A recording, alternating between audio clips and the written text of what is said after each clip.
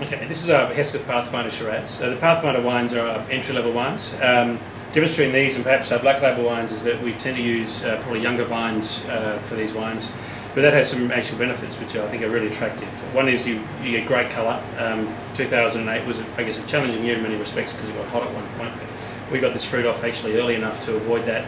And you get really wonderful, bright um, purple hues in this wine. Um, and with younger vines, you often um, get some, I guess, sweet and sour is not the right term, but, but ripe characteristics with, mixed with some, I guess, more lean, uh, greener, greener characteristics.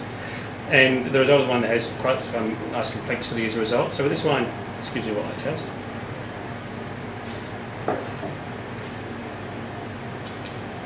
You actually taste that youthfulness in the wine. Um, it's got a lovely palate feel, a nice tight structure, really good acidity through the middle, but lovely bright berry fruits, which is, I guess, um, with a bit of those greener characteristics for complexity, but it's by no means green, it's definitely very ripe.